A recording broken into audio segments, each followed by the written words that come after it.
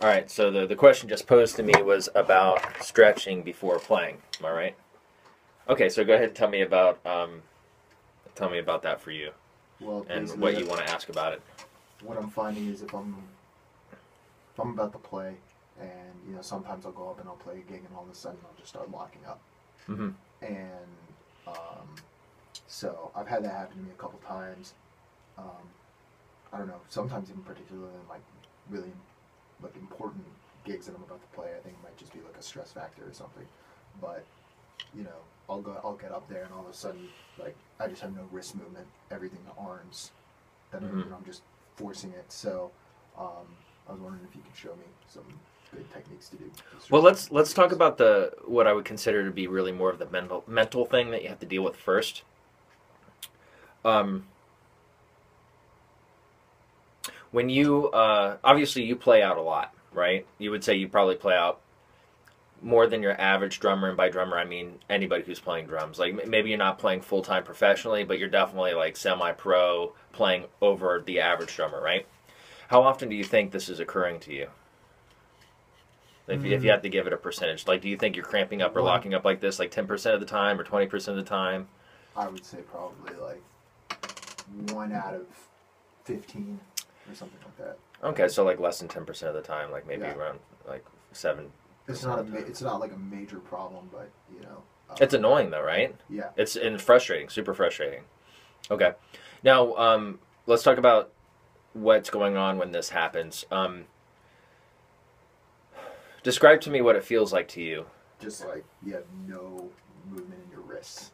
Like it's just everything is super tense, and like every movement has to come from like forearm, or there's just no finger movement. It's all arm, everything, and just like playing faster stuff is just like almost impossible.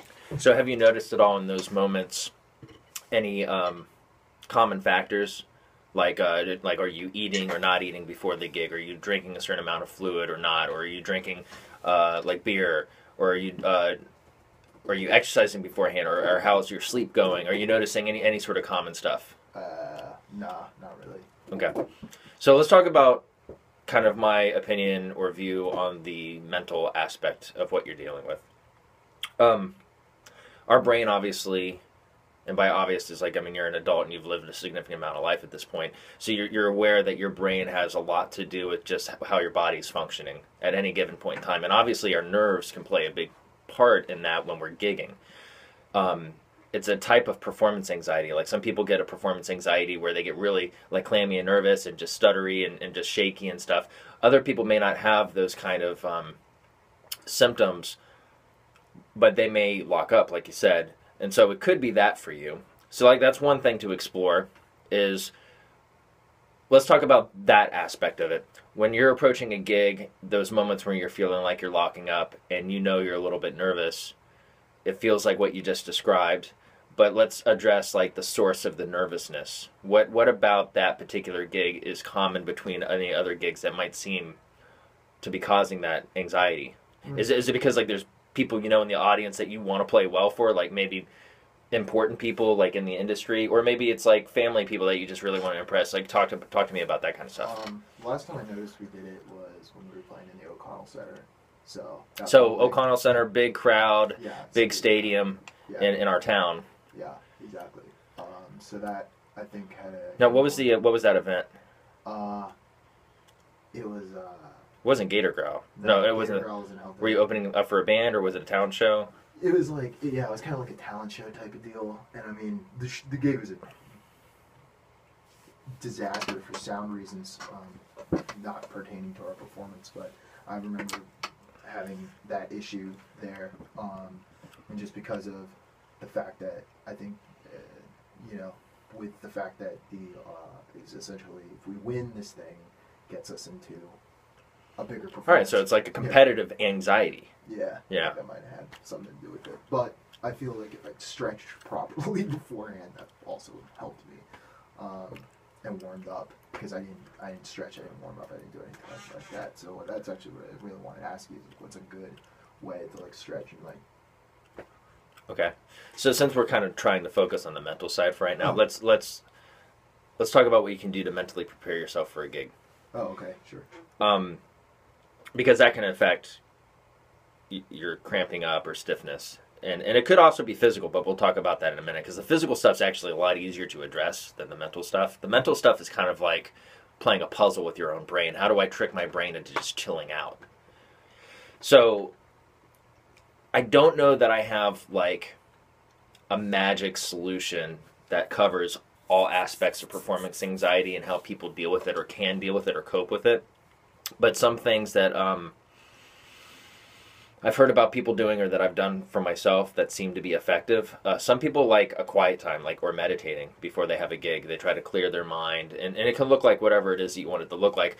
But w- whatever that thing that is about the gig that you're anxious about, trying to distract yourself from that. Now, some people just like to be busy and then play the gig and then be done with it, and that helps them get through their anxiety. I'm kind of that way. If I have time to sit idly before a gig, that's when I start clamming up and getting nervous about it for me. So I'm kind of a lot of times a person that just needs to be busy and then I just have to go do the gig like it's just another thing on my to-do list that day. And that helps me get through it sometimes. Um but other people may may not be that way. They may need to just some quiet time alone, maybe in a dressing room, warming up on a pad, just kind of chilling out, maybe drinking a beer, maybe uh, just watching TV, um, or exercising. You know, whatever it is for you. And and this is very much you you want to kind of gear yourself towards other things in your life that you already do this with. Let's say you had a I don't know like a a date that you were going to go out on. You know, what do you do if you're nervous about that date? What are some things that you do to try to chill out? Or like if you have a test and you know that you're pretty much prepared for the test, but you're still nervous about it anyway. So what are the things that you do to try to chill out or relax yourself before you go do that? You want to kind of look at those things and try to bring that over to your performance world because that's a good place to start but then you'll fine tune it and find other things that seem to work better for you.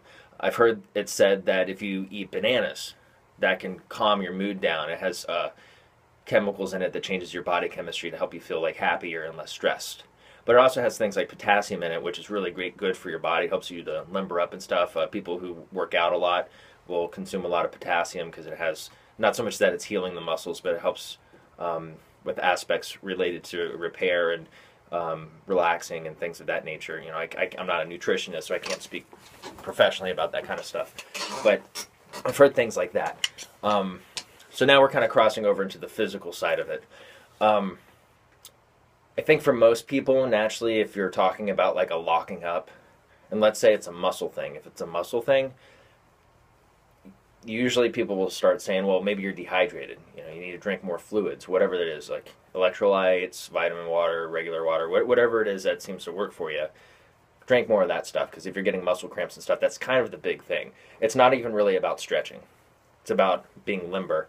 And if you don't, our body's like 90% water. If you're having a deficit of water in your system, you're going to lock up. And that's also going to affect things like your thinking, for instance.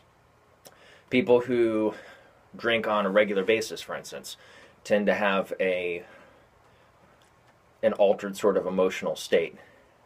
And I'm not saying I'm not, referring to intoxication. I'm just saying people who drink on a regular basis that changes your brain chemistry so the way that you think about things emotionally is going to be different than somebody maybe who doesn't drink at all. And so, water being 90% of your body, if you have a deficit of water in your head, it's going to have a, uh, an effect on how you think about things, maybe your emotional standpoint, but then also your physical.